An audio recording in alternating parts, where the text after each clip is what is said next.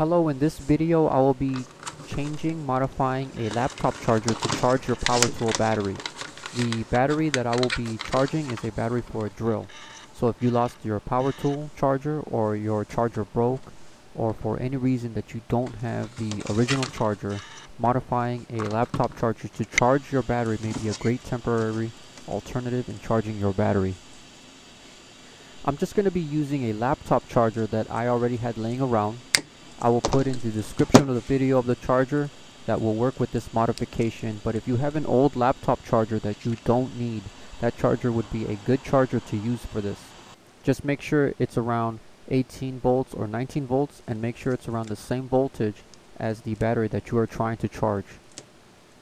So now what I did to turn the laptop charger into a charger for your power tools is I cut the end of the charger.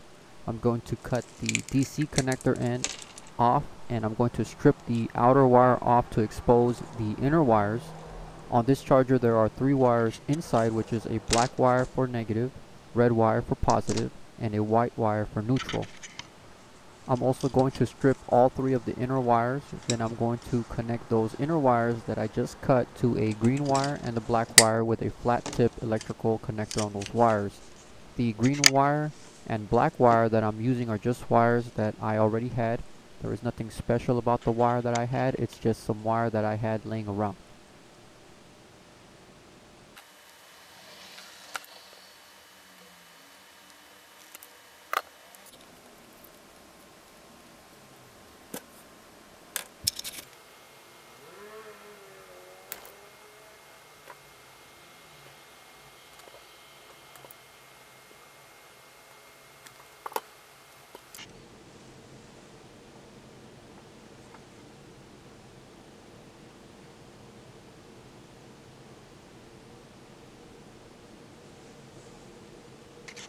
I'm going to twist together the neutral wire and negative wire together.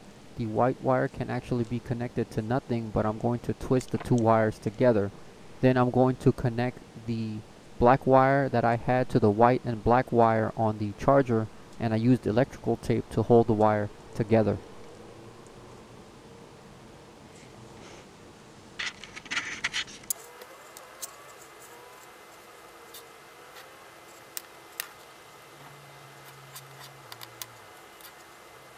Then I'm going to do the same thing for the red wire and connect the green wire that I had to the red wire on the charger.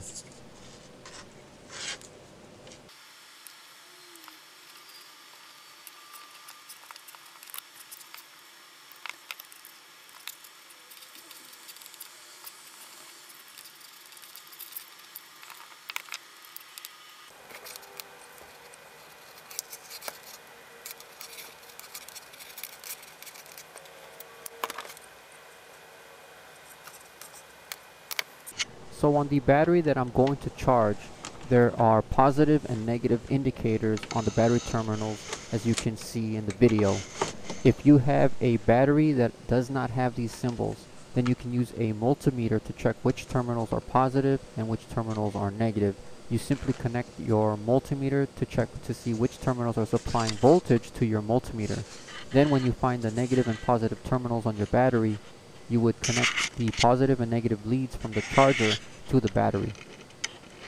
The original charger is definitely going to be the better charger for charging your battery, but turning your old laptop charger into a charger to charge your power tools may be a great temporary alternative. Thank you for watching and I hope that this video has helped you out in charging your battery.